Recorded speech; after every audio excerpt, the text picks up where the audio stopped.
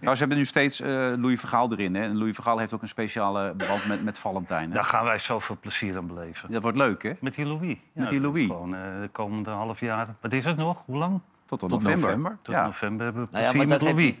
ik kan nog niet iedere keer genieten van hem. Af en toe dan erg ik me nog. Ja. Maar je moet, je moet hem vermakelijk vinden. Hè? Ja. ja, maar laten we toch even kijken met Valentijn samen. Zoals ik het nu begrijp, hebben ze gewoon niks te vertellen.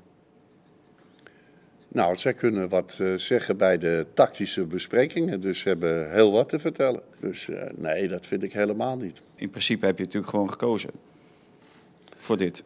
Ja, meestal, eh, meestal doet een trainer dat. Ook wel denk je dat ik een dictator ben, maar ik, eh, als een speler niet wil, dan eh, gaat hij ook eh, minder voetballen. Maar je hebt dat, eh, dat systeem wat je had, dat heb je nog nooit geprobeerd tegen een goede tegenstander. In deze tweede fase van je bondscoachschap.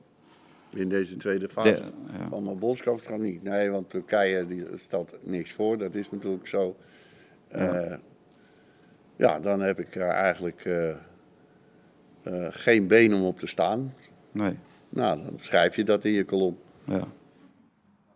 Ja, dat wordt nog heel leuk de komende tijd. Zijn die column of kolompje? Dit zijn die keer column, maar ja. kolom zegt hij ook heel vaak. Maar ja, goed. Valentijn blijft altijd heel rustig. Hè? doet hij heel goed, Dat doet Valentijn. hij goed, ja. Ja. Ehm, ik kreeg net door dat Patrick Kluivert heeft aangegeven dat hij klaar is voor Ajax als hoofdtrainer.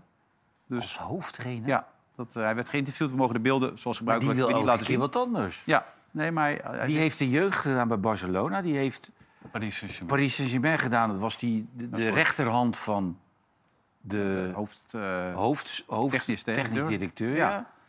En nu wil hij weer... te- heeft hij nog getraind bij Twente heeft hij de jeugd nog getraind. Twente, maar ook toch bij... Curaçao. heeft Curaçao, ja, Curaçao Curaçao. heeft hij ook nog even op de kaart Nee, gezet. maar kijk, Patrick Kluivert die moet zichzelf realiseren dat hij gewoon niet de ervaring heeft om dat te doen. Hmm. En dan had hij de ervaring wel dat Ajax hem dan ook niet zou nemen, want dan komen er nog wel tien voor hem in aanmerking. Cameroen met, met Seedorf moeten we ook niet vergeten natuurlijk. Dat was ook hij nog even een geweldig uitstapje.